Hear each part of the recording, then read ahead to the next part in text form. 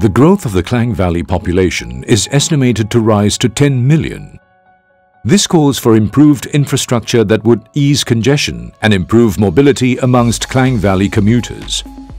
The need for an efficient and connected public transport system becomes ever more urgent as Malaysia continues down the path of becoming a high-income nation.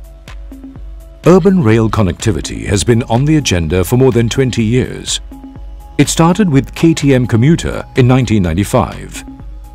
The Ampang line followed in 1996, while the Kelana line opened two years later.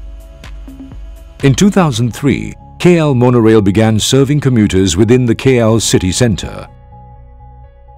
Moving into 2010 under the National Transformation Programme, rail projects became a national hallmark of infrastructure ambition.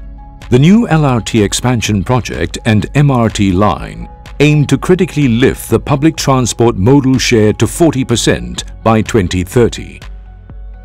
In 2015, the Light Rail Transit 3 or LRT3 was introduced as the latest initiative, seeking to expand the reach of rail transport to the western corridor of the Klang Valley. The line will benefit the lives of over 2 million people, providing better connectivity, spurring social development and inclusion, enabling economic growth. Spanning over 37 kilometers from Bandar Utama to Klang, LRT3 will establish 20 stations, connecting almost 67,000 daily commuters.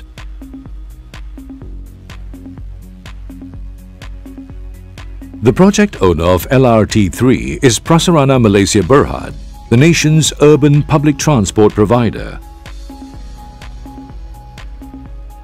MRCB George Kent Sendirian Berhad is the contractor of the LRT3 project, working closely with Prasarana Malaysia Berhad.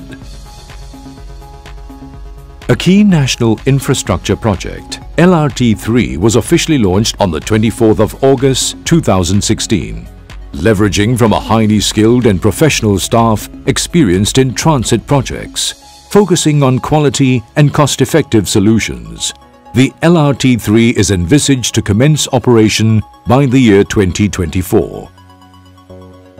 LRT3 will be a key feature in facilitating urbanization, catalytic to the overall transformation of Malaysia's urban public transport system. LRT3 aligns with a vision and aspiration to build a brighter future as one nation, extending the frontiers of connectivity to the Western Klang Valley.